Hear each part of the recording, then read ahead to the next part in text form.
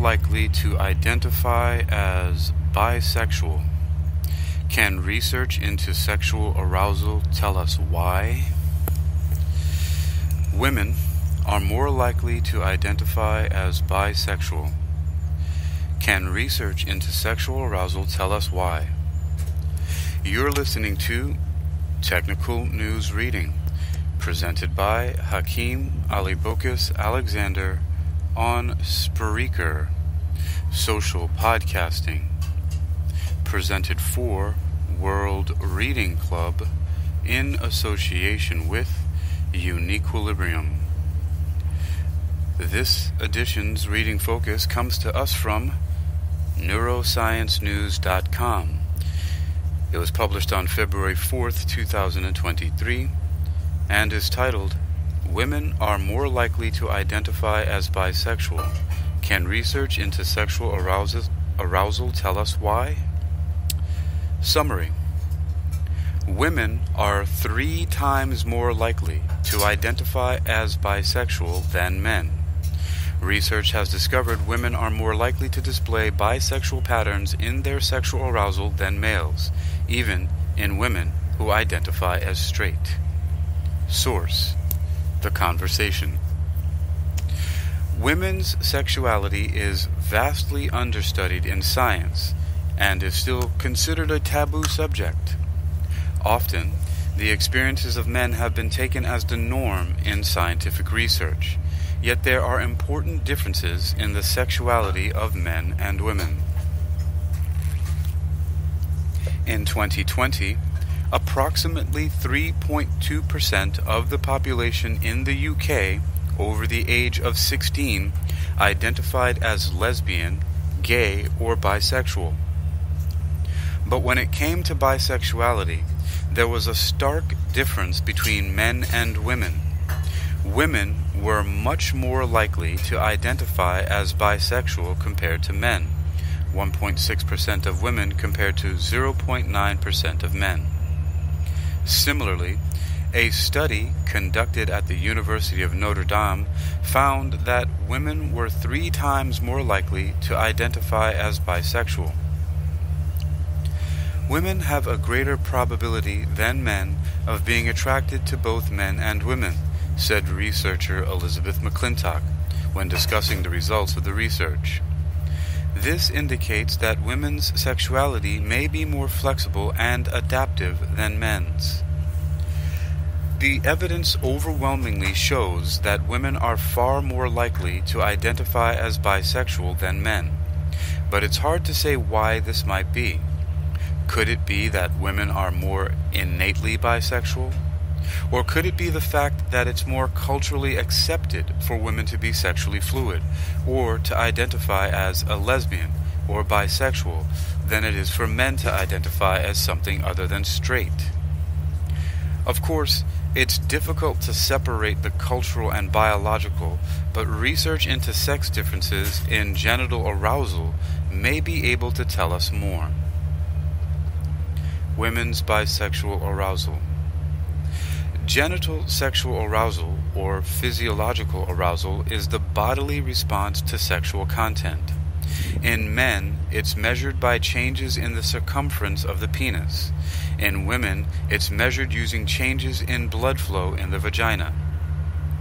Research into genital sexual arousal has found that women are more likely to display a bisexual pattern in their sexual arousal compared with men, regardless of their sexual orientation.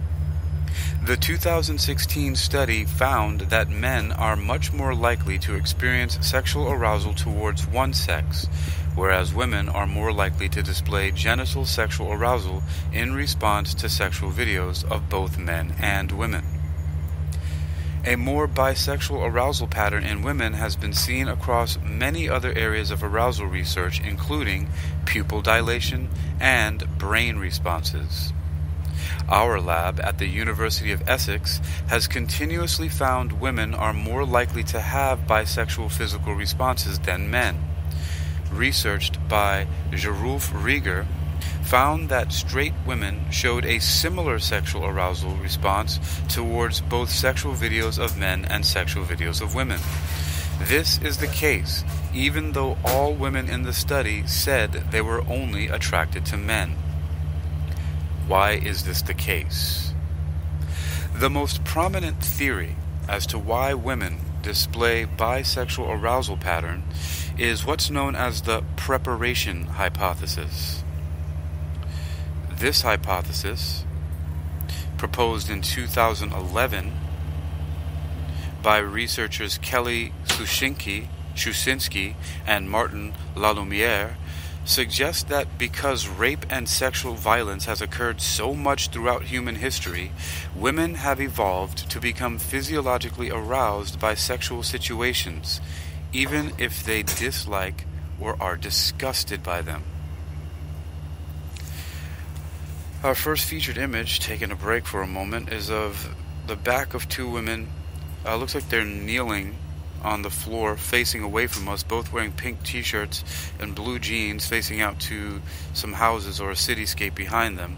And the caption reads uh, it's daylight. And the caption reads Women are more likely to take fluid approach to take fluid approach with their sexuality. The image is in the public domain. Neuroscience News continues. Alright, so backing up a little bit. This hypothesis, proposed in 2011 by researchers Kelly Suschinsky and Martin Lalumiere, suggests that because rape and sexual violence has occurred so much throughout human history, women have evolved to become physiologically aroused by sexual situations, even if they dislike or are disgusted by them. This is believed to be because physiological arousal allows the vagina to become lubricated, thus reducing the likelihood of genital injury that could occur through sexual violence. One study that seems to support this theory found that women displayed genital arousal while watching animal sex, bonobo chimpanzees. However, a 2018 study of 20 women found that watching sexually explicit films didn't automatically lead to vaginal lubrication. This study still needs to be replicated, as it's complex to measure vaginal lubrication, but the research but the results indicate that there may be flaws in the scientific thinking that women are turned on by anything sexual. Indeed, it's likely many women reading this feel they don't need a study to tell them they're not aroused by any sexual situation. Another theory we are currently investigating is whether empathy could be an explanation for women's bisexual arousal. Studies show women are naturally more empathetic than men, especially towards other women. Women are also more able to synchronize their own emotions with the emotions of somebody else. This means women may be more able to understand and feel what somebody else is feeling.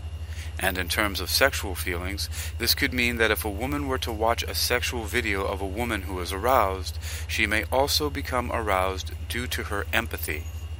While this new theory is still being studied, it's clear that due to the complexity of cultural and biological factors involved, and because of the limits to the current hypotheses we have to explain arousal patterns, conclusions can only go so far.